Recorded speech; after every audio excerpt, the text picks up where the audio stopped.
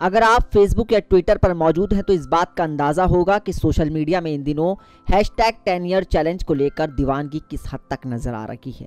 लोग अपनी 10 साल पहले की तस्वीर और अब की तस्वीर एक साथ साझा कर रहे हैं। लेकिन एक मिनट रुकिए, ज़रा ठहरिए और ज़रा सोचिए कि आखिर ये हो क्या रहा है।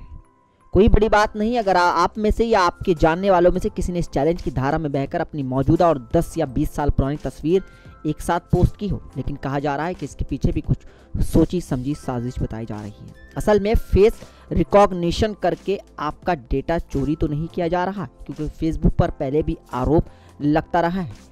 ऐसे में कहा यह जा रहा है कि सोशल मीडिया नेटवर्क ये यूज़र जनरेटेड मीम है जो अपने आप वायरल हुआ है। फेसबुक ने ये ट्रेंड शुरू नहीं किया। मीम वही फ़ोटो इस्तेमाल करता है जो पहले से फेसबुक में है। फेसबुक को इसमें कोई फ़ायदा नहीं है। और साथ ही साथ ये भी याद रखना ज़रूरी है कि फेसबुक यूज़र किसी भी वक्त फेशियल रिकॉग्निशन वाला फीचर ऑन या ऑफ़ कर सकते हैं। यानी हमें बहुत सावधान रहने की ज़रूरत है। कहीं ऐसा तो नहीं कि हम अपनी 10 साल और पुरानी तस्वीर और नई तस्वीर को साझा करने के चक्कर में कहीं डेटा अपने चेहरे का तो नहीं दे रहे हैं। यह हमें होशियार रहने की ज़रूरत है। नेक्स्ट टाइम टेक की रिपोर्ट